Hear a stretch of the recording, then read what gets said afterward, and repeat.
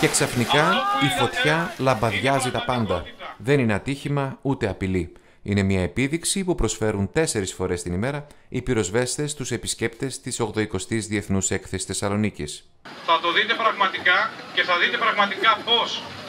Ενώ ο συνάδελφος έχει βάλει μια μικρή ποσότητα λαδιού και εγώ αντιστοίχως θα ρίξω νερό, κάνοντας δηλαδή την εσφαλμένη κίνηση για να σας δείξω τι γίνεται με μισό ποτήρι νερό επάνω σε ένα αναμένο τηγάνι. Η Χελέξ Ποδέθ, σε συνεργασία με την πολιτική προστασία της Περιφέρειας Κεντρικής Μακεδονίας, επέλεξε αυτόν τον τρόπο για να περάσει ένα μήνυμα προσοχής στους πολίτες.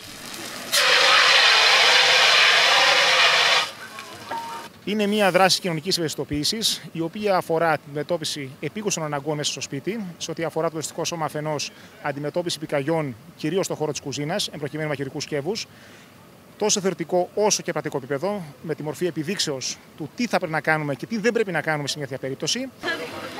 Θα καπακώσει το τηγάνι και θα το σβήσει. Τότε μόνο μπορούμε να το βγάλουμε έξω στο μπαλκόνι και να είμαστε ασφαλείς.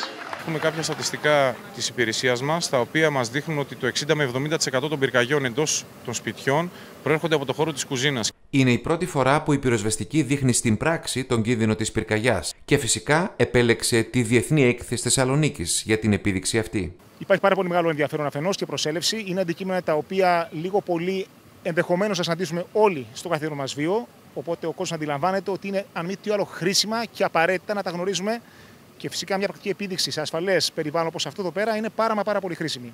Για τους πυροσβέστες είναι εξαιρετικά σημαντικό να πληροφορούν τους πολίτες, καθώς εάν ο απλός πολίτης αντιδράσει σωστά, τότε η δική τους επέμβαση γίνεται λίγο πιο εύκολη. Πολύ σημαντική. Μάθαμε πράγματα τα οποία πρέπει να τα ξέρουμε για το σπίτι μας, για τη δική μας ασφάλεια.